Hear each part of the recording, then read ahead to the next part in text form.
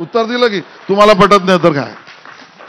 अच्छा आपले जुने सहकारी रोज एक प्रोजेक्टबद्दल तुमच्यावरती आरोप करतात. त्यांचं असं म्हणणं आहे आदित्य ठाकरेंचं स्पेशली की ते प्रोजेक्ट्स पूर्ण आहेत. मुंबईकरांच्या आणि इतरांच्या ती फायद्याची आहेत.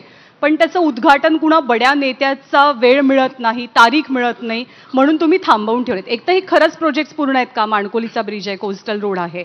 आणि उद्घाटन का होत नाहीये? त्यांचा प्रश्न. मला वाटतं श्रेयवादाच्या लढाईतला एक फुसका बार म्हणजे आदित्यजींचं विधान आहे. आणि असे आपटी आणि फुसकेबार मानण्यामध्ये मारण्यामध्ये आदित्यजी आजकाल खूप प्रसिद्ध आहेत. जे प्रोजेक्ट आहेत त्या प्रोजेक्टचा कार्यकाल पूर्ण होऊन ते पूर्ण झाल्यावर जनतेला दिलेच पाहिजेत. हीच भूमिका एकनाथजी देवेंद्रजी अजितदादा पवारांची आहे.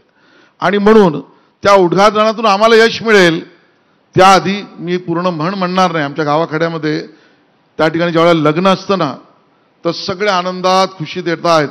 येऊ घातलेत म्हटल्यावर जो विघ्न संतोषी असतो तो खंडीभर वर्णामध्ये टिंबटिंब करतो आणि पूर्ण खराब करण्याचं काम करतो.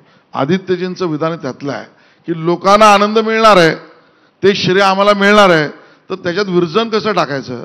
एवढं पुरतंच आहे. प्रोजेक्ट वेळेनुसार चाललेत. ते वेळेतच जनतेला त्या ठिकाणी दिले जातात. एक शेवटचा प्रश्न आता ऑडियन्समधनं बसून विचार.